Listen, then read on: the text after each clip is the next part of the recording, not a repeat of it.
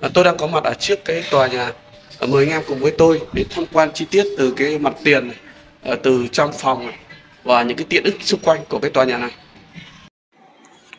Bất động sản này có cái mặt tiền nó là gần 4 mét và cái đường trước nhà nó phải gần 3 mét.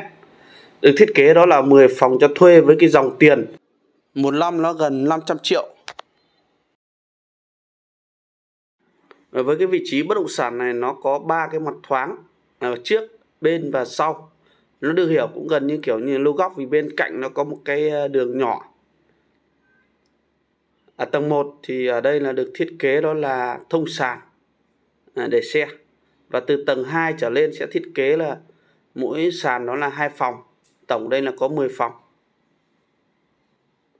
Đây là cái ờ, đường trước mặt, đây. Cái đường này thông đi các ờ, ngã nha anh em.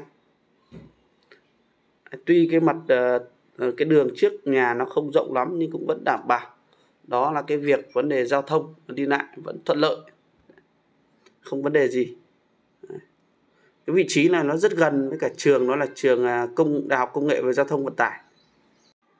Và chúng ta sẽ đến à, vào trong cái tòa nhà này. Thì đây là một số hình ảnh ở trong thiết kế và bố trí về nội thất.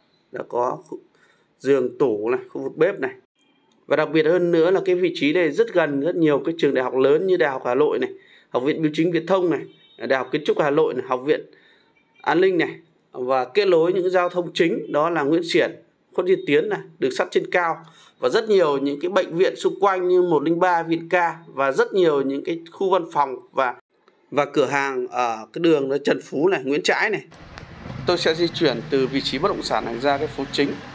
Từ vị trí bất động sản này ra cái phố chính và đường ô tô là cách khoảng tầm 100 à, mét đây. Đây đường ô tô này rất to đấy ạ.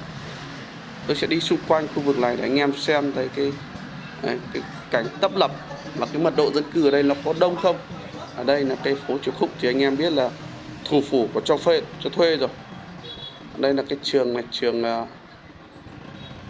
tiểu học Triều Khúc